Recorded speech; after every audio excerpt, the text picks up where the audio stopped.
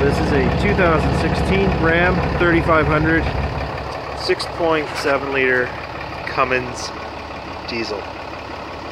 This is a long box, color is white, four-wheel drive, 12,872 kilometers on it. Crew cab options are as follows. Power windows, door locks, power mirrors, automatic headlamps, tilt steering, cruise control, Bluetooth, backup camera, adjustable for your shifting. 5 inch screen, air conditioning, power brake, power trailer brake, pardon me, engine brake, standard with all Cummins engines, 2007 and a half and up. Sliding rear window, they also have in-floor storage all crew cabs. Also has flat storage. So if you had a birthday cake or birthday present, slide it all in. Storage on the floor, one on both sides. Gallon removable bins. Watertight, dishwasher safe.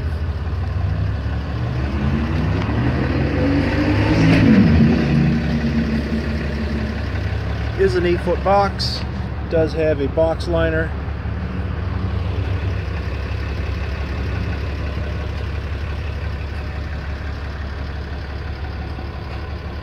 Class 5 hitch.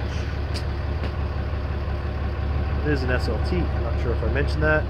Has your backup sensors.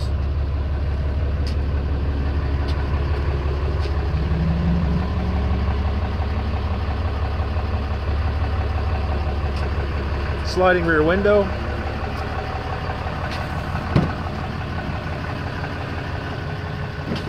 Power windows in the rear.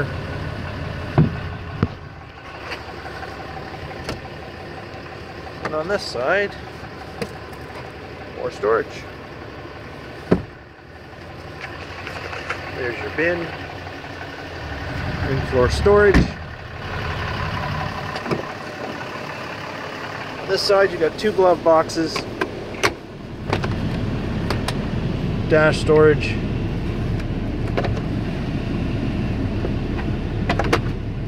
and seating for six, storage underneath. Heated mirrors, tow haul mode, there's for your sensors to shut them off. You have a compass, anything less than 80 kilometers an hour, you can go into four-wheel drive high.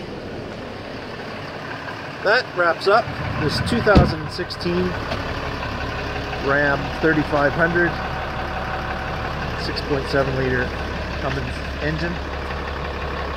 Four-wheel drive long box. If you have any questions, please do not hesitate to reply to this video. Remember to think Gary at Bill Howich Chrysler. Thank you very much. Have a great day.